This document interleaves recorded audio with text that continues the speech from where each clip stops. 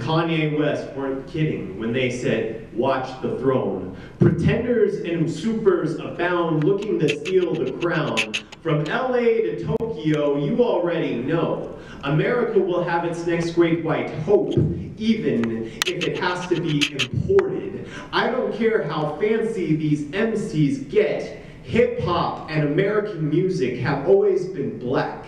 In the 1910s, Nick LaRocca, first jazz band leader ever recorded, claimed he had invented the sound after hearing it playing on the keys of the pianos of the bars in Storyville. Or maybe it was blaring from those horns of those saints marching with Louis Armstrong. In the 1920s, Paul Whiteman ordained the king of jazz.